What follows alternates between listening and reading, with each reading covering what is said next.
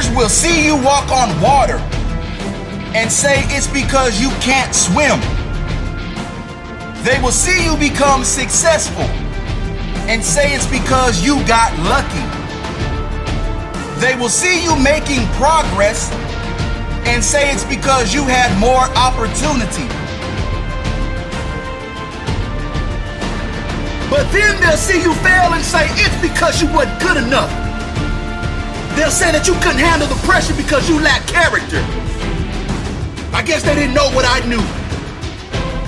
That I would make it, maybe not immediately, but absolutely and definitely.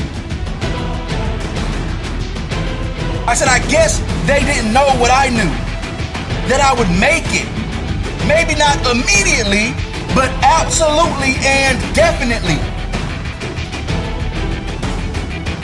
I guess the haters didn't know I was only getting started.